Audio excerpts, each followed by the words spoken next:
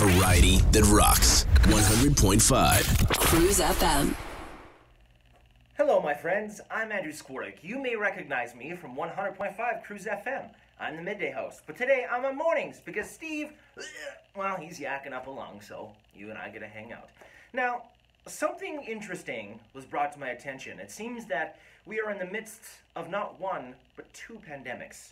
One, of course, COVID 19. Two is a general lack of knowledge of the international sign to truckers for them to honk the horn. Now, I've always done this from when I was a kid to now. It's something that I always do and have a great time uh, with because it's so fun. I'm going to teach you step by step exactly how you can make a trucker, as they're approaching you, honk their horn. Step one, smile. Step two, raise your arm up in the air like this in a closed fist pattern. Now, notice the 90 degree angle on my elbow here, very important. What you want to do is as if you were holding a handle in your fist here, go up and down in a very easy, simple manner.